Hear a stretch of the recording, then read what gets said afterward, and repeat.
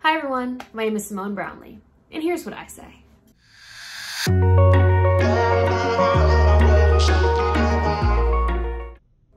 This video goes out to all my visually impaired folks like myself who don't know what it's like to wake up in the morning and just be able to see. So I've been wearing glasses and contacts pretty much for as long as I can remember. I don't remember when I got my first pair of glasses, but I do know that I was pretty young. So I, I really don't remember what it was like being able to see back then. I'm sure it was great, um, but I, I, I don't really remember. When I was younger, I went to the eye doctor and I intentionally failed my eye exam because I wanted glasses. And I felt like they were accessories. I looked at them the way we look at earrings and bracelets and jewelry. I felt like it was something to just, it was like dress up, you know? Did not realize back then at that young age, you could probably just go to Claire's and pick up a pair of frames without a prescription in them and wear glasses. But I was young. I did not realize this. I wasn't thinking. So that's what I did. And I remember I was so, so excited. The first pair of glasses I ever got, we went to LensCrafters. It's just picture like wire-rimmed bespectacles on this young girl. So I got those glasses and of course I loved them. They were shiny, literally like jewelry. I wasn't wearing, you know, plastic frames at that point. Between wearing them and the other things that I was doing to my eyes, my vision gradually was getting worse to the point where I did need glasses. To be fair, based on genetics, I probably would have needed glasses at some point in my life anyway. But yeah, between wearing those glasses all the time and then I had a reading problem, we'll call it. I used to read 24 7 to the point where I would go underneath my comforter with my book and I would use the light from my alarm clock to read I'm talking about those old analog clocks, like the black screen with the small red numbers, and I'm using that dim red light to read books for hours at a time at night. I'm, I'm surprised I'm not completely blind at this point based on the things I did during my childhood. So by the time I got to my freshman year in high school, I got my first pairs of contacts. I still wear contacts a lot right now, but now I'm getting back to the point in my life, now that I'm in my 20s, where, oh, you know what? Glasses really are an accessory. I was right all along. So I want some cute ones that I can wear when I'm in certain moods that go with certain outfits, certain vibes. That's what I'm looking for. And also sometimes you just want to give your eyes a break. So your eyes can get dry, your eyes can get irritated, and of course, the constant touching. No one wants to do that all the time, at least not me. I started shopping around to see who had glasses that I might be interested in. I wanted to find the best deal in terms of style, things that would match my style. And then of course, pricing is important. I don't want to spend a million dollars on glasses. Um, I considered America's Best because I know they have some great deals on glasses, but then I realized that it was coming with like super, super cheap lenses in those really great deals. So after a lot of research, I landed on Warby Parker. It seemed like the style of the frames that they had was something that might go with my personal style. And when I looked on their website, the pricing looked really great.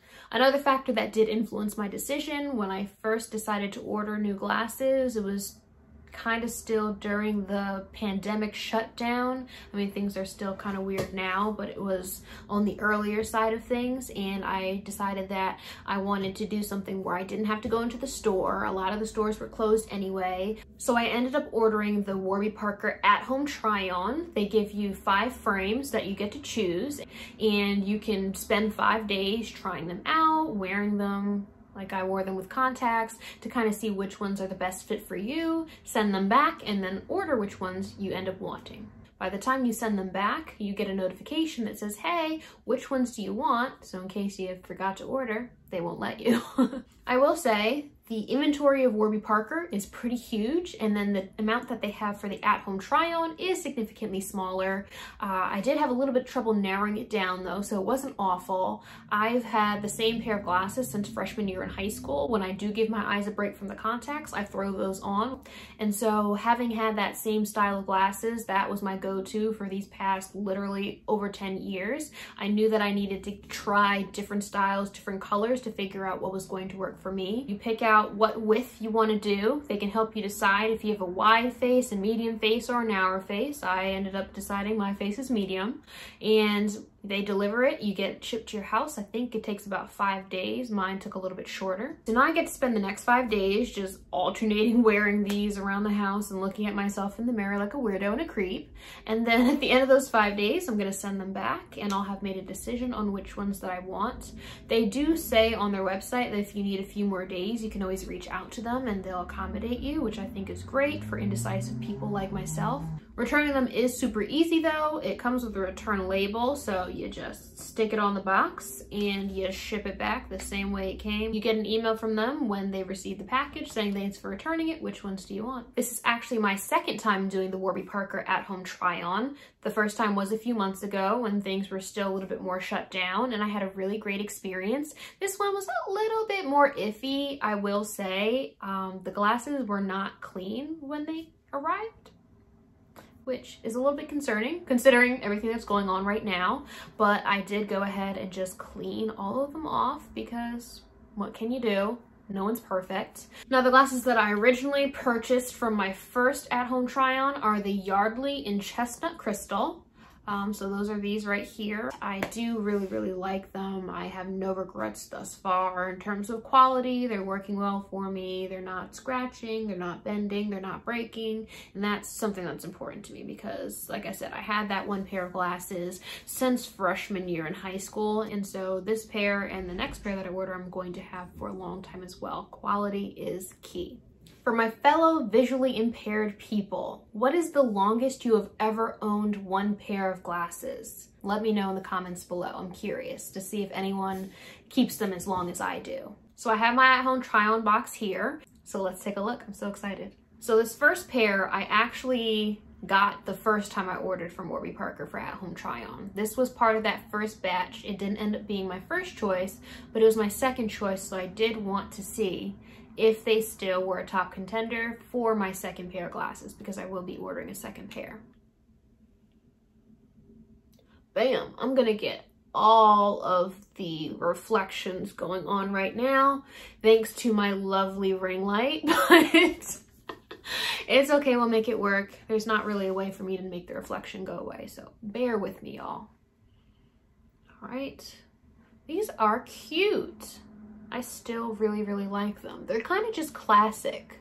I think Warby Parker has a lot of classic styles and they've got classic ones with an edge on it. That's probably what really attracted me to them. So obviously, whiskey and tortoise. Huh.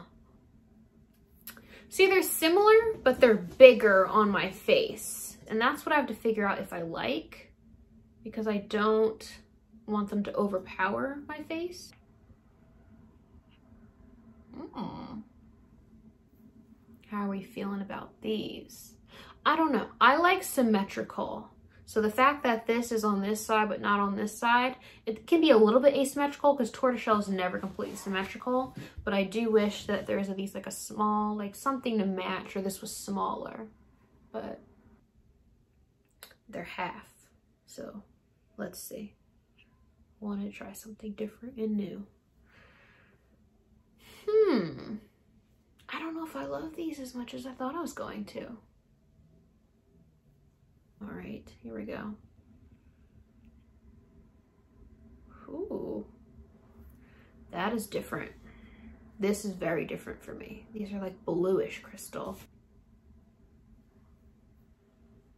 Okay. Don't hate these. I don't hate these at all. All right, everyone, thanks for watching. If you'd like to see more content from me, feel free to like, comment, and subscribe, and I'll see you in the next one. All right, bye.